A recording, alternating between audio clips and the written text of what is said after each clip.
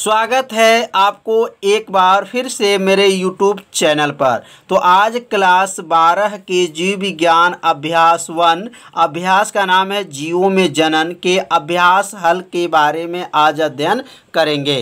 तो इसके पिछले भाग में इस पाठ के दस भाग का वीडियो अपलोड है। यदि इस भाग के दस भाग का वीडियो आप देखना चाहते हैं तो प्लेलिस्ट में आल वीडियो है, वहाँ से जा कर के उस वीडियो को देख सकते हैं। तो इसमें आज हम लोग अभ्यास हल के एक एक प्रश्नों को बारे में आपको अच्छे से समझाया जाएगा और आप सभी विद्यार्थी एक कॉपी में इसे नोट करते भी चलिए, जिससे एक अच्छे से नोट्स भी आपको तैयार हो जाए। और इसे दो बार, तीन बार पढ़ लीजिए, आपको अच्छे से उत्तर क्या होगा? याद हो जाएगा। तो पहला क्वेश्चन है, जीवों के लिए जनन क्यों अनिवार्य है? जो जीवों के लिए जनन क्यों अनिवार्य है? तो एक पीढ़ी से दूसरी पीढ़ी अगर चलाना है तो जीवों में जनन के लिए क्या है? आवश्यक होता है। तो यहाँ लिखा गया जीवों के लिए जनन क्यों अनिवार्य है? तो यह क्वेश्चन जो है आईएमपी क्वेश्चन है। तो इस क्वेश्चन को उत्तर अपने कॉपी में लिख लीजिए। जनन एक ऐसा माध्यम है, जिसके द्वारा लाभदायक विभिन्नताएँ एक पीढ़ी से दूसरी पीढ़ी तक क्या होती हैं? स्थानांतरित तो होती हैं। मतलब जनन एक ऐसा माध्यम है जिसके द्वारा लाभदायक विभिन्नताएँ, मैंने लाभदायक विभिन्नताएँ का मतलब यह हुआ कि एक पीढ़ी से क्या हो? दूसरी पीढ़ी में क्या हो जाए? स्थान स्थानांतरित होती हैं। तो यहाँ पे जो परिभाषा लिखा गया है आप सभी विद्यार्थी से नोट करते भी चलिए। अब यहाँ लिख लेंगे अतः जनन जैव विकास में, में भी सहायक होती हैं। जो जनन होती हैं वह जैव विकास में भी क्या होती हैं? सहायक होती हैं। इन समस्त कारणों के आधार पर कहा जा सकता है जनन जीवों के लिए क्या है? अनिवार्य हैं। तो यहाँ पे जो है, जीवों के लिए जनन अनिवार्य क्यों होता है? क्योंकि एक पीढ़ी से दूसरी पीढ़ी को चलाना होता है, इसलिए जीवों के लिए जनन क्या है? अनिवार्य होता है। तो इस उत्तर को अपने कॉपी में क्या कीजिए? नोट कर लीजिए। इसे एक बार, दो बार पढ़ लीजिए। आपको अच्छे से क्या हो जाएगा? याद हो जाएगा। अब अगला क्वेश्चन है जनन की अच्छी विधि कौन सी है और क्यों है? जनन की अच्छी विधि कौन सी है? मतलब जनन में दो विधि होती है, एक लैंगिक जनन होता है और एक अलैंगिक जनन होता है। तो इन दोनों में से कौन सी अच्छी विधि है और क्यों है? इसके बारे में प्रश्न में पूछा गया है।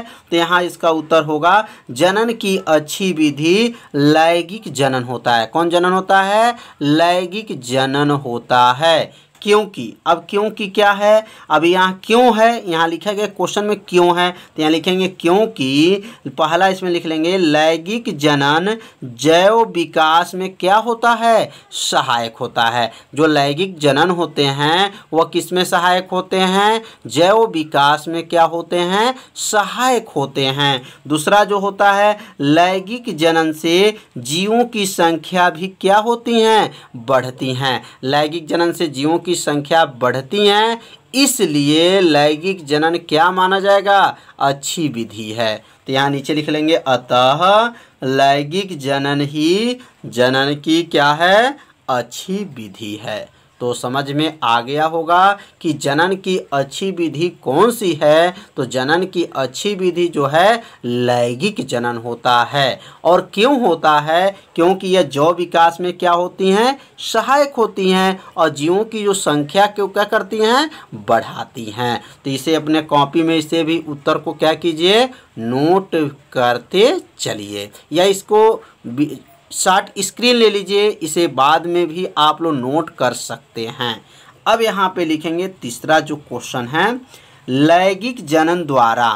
लैंगिक जनन द्वारा उत्पन्न संतति को कलून क्यों कहा जाता है? यह क्वेश्चन भी जो है आईएमपी क्वेश्चन है, बहुत ही आसान है। तो अलैंगिक जनन द्वारा उत्पन्न जो संतति को कलून क्यों कहा जाता है? तो ध्यान देंगे, आकार की एवं अनुवंशकीय रूप से एक समान जीव कलोन कहलाता है। कलोन की परिभाषा क्या होता है? तो याद रखेंगे, आकार की एवं अनुवंशिकी रूप से एक जीव, एक समान जीव को ही क्या कहते हैं? कलोन कहते हैं। जो आकार के रूप में, आकार की और अनुवंशिकी रूप से एक समान अगर जीव है, उस जीव को क्या कहेंगे? कलोन कहा जाता है। अलैंगिक में अब आएँगे। अलैंगिक जनन द्वारा बताया गया है तो यहाँ लिखेंगे अलैंगिक जनन द्वारा उत्पन्न संतति अनुवंशकी एवं आकार की रूप से अपने जनन के एकदम समान होती हैं। मतलब यह हो गया कि जो अलैंगिक जनन द्वारा जो उत्पन्न जो संतति होगा, वह अनुवंशकी में और आकार की रूप में अपने जनन के एकदम क्या होता है? समान होती हैं। अतः इसे क्या कहेंगे? कलोन कहते हैं। तो कलोन का परिभाषा में आपको याद रखना है, आकार की और क्या? अनुवंश की। एक समान की जीव हो, उसी को कलोन कहा जाता है। तो इसका परिभाषा आप लोग को अच्छे से समझ में आ गया होगा। इसे अपने परिभाषा, इस परिभाषा को अपने कॉपी में लिख लीजिए। ऐसे दो बार पढ़ेंगे तो आपको निश्चित ही आपको परिभाषा याद हो जाएगा। तो अब हम लोग अगला प्रश्न के बारे में समझेंगे।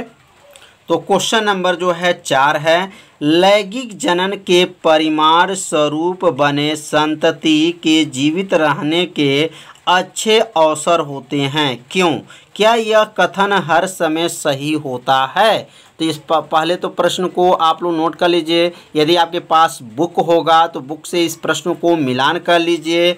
अब यहाँ क्या होगा? इसका उत्तर होगा, जब लैंगिक जनन के जो परिमाण स्वरूप बने, जो संतति के जीव क्या रह जीवित रहने के लिए अच्छे अवसर होते हैं तो इसका उत्तर होगा कि युग्मकों की उत्पत्ति। युग्मकों मतलब नर युग्मक और मादा युग्मकों की जो उत्पत्ति एवं निषेचन के कारण नए तथा बेहतर गुण युक्त संतति का जन्म होता है। मतलब यह है, युग्मकों के द्वारा पहले निषेचन की क्रिया होती है, और इसके द्वारा क्या होती है?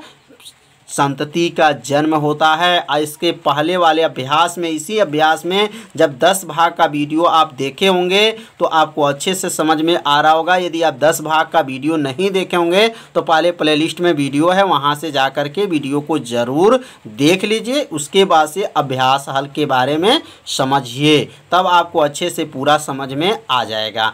तो जो युग्मक की उत्पत्ति होती है, उसके द्वारा किसका होता है? निषेचन के कारण क्या होते हैं? नए तथा तथा बेहतर युक्त संतति का क्या होता है? जन्म होता है। अतः लैंगिक जनन के परिमाण स्वरूप उत्पन्न संतति के जीवित रहने के अच्छे अवसर क्या है? अवसर होते हैं। तो इस, यहाँ पे जो है अवसर कब प्राप्त होते हैं? इसमें जो लैंगिक जनन के परिणाम स्वरूप यहाँ लिख देंगे, लैंगिक जनन के परिणाम स्वरूप उत्पन्न संतति के जीवित रहने के अच्छे अवसर होते हैं। कब होते हैं? जब युग्मकों की उत्पत्ति होती है और निषेचन के कारण नए तथा बेहतर गुण के संतति का क्या होता है? जन्म होता है। तो अब यहाँ पे दो प्रश्न हैं। क्या यह कथन हर समय सही होता है? तो नीचे लिखेंगे, यह कथन सदैव सही नहीं होता है। अब यह कथन सदैव सही नहीं होता है तो क्यों नहीं होता है? क्योंकि जनकों के रोग ग्रस्त होने पर वह रोग आने वाली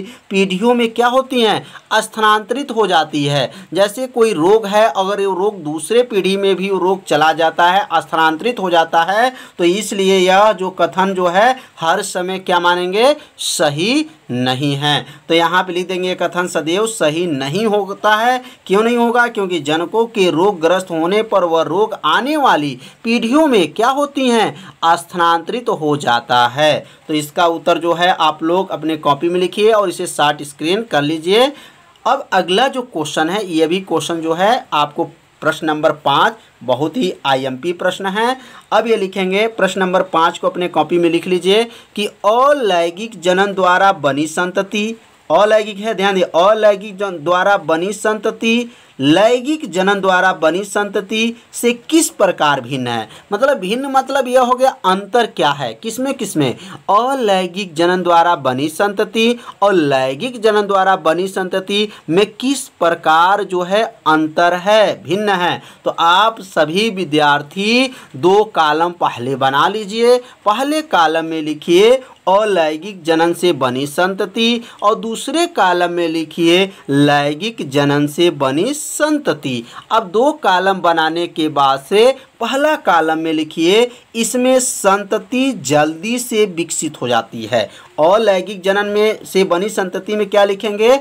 इसमें संतति जल्दी से क्या होती हैं? विकसित हो जाती हैं। और इसमें लिखेंगे, इसमें संतति विकसित होने में लंबा समय लेती है। लैंगिक जो जनन से बनी संतति में क्या लिखेंगे? इसमें संतति विकसित होने में लंबा समय लेती है। और इसमें जो है विकसित होने होने में जल्दी से विकसित हो जाती है। इसमें समय जो होती है, कम लगता है। किसमें?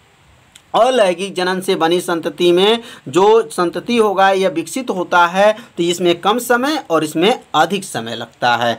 अब इसका दूसरा अंतर क्या है? तो इसमें संतति तथा जनक के बीच अंतर नहीं होता है। इसमें जो संतति होता है तथा जनक होता है, उसके बीच में कोई अंतर नहीं होता है। और इसमें जो होता है तो इसमें लिखेंगे, इसमें संतति एवं जनक पीढ़ी के सदस्यों के बीच कई विभिन्नताएँ होती हैं। इसका मतलब जो हो गया, इसमें संतति और जनक के बीच में अंतर होता है। इसमें अंतर होता है और इसमें अंतर नहीं होता है। तो आप लोग को यह अंतर जो है, आप लोग को अच्छे से समझ में आ गया होगा। इस अंतर को अपने नोट्स में लिख लीजिए। यदि आपको यह वीडियो अच्छा लगा होगा तो ज़रूर कमेंट कीजिएगा। वीडियो को लाइक कीजिए। चैनल पर आप पहली बार आए हैं तो चैनल को सब्सक्राइब ज़रूर कर लीजिए, जिससे यह प्रतिदिन जो है आपका भौतिक विज्ञान, रसायन विज्ञान, जीव विज्ञान का वीडियो को अपलोड किया जाता है, जिससे आपको अच्छे से जानकारी हो जाए। इसलिए चैनल को आप लोग पहले सब्सक्राइब और वेल आइकन घंटी के ऑप्शन को पहले ओके कर लीजिए, जिससे कोई भी वीडियो अपलोड करे तो उसका मैसेज तुरंत आपके पास पहुँच जाए। तो आज का वीडियो कैसा लगा, आप लोग ज़रूर कमेंट कीजिएगा और इसे अपने कॉपी में लिखते भी चलिएगा। तो आज का पढ़ाई में प्रश्न नंबर पाँच तक बताया गया है। पाँच प्रश्न को पहले आप लोग तैयार कर लीजिए। कल जो है प्रश्न नंबर छः से लेकर के आगे के सभी प्रश्नों को हल करके बताया जाएगा। तो आज का वीडियो इतना ही रहेगा।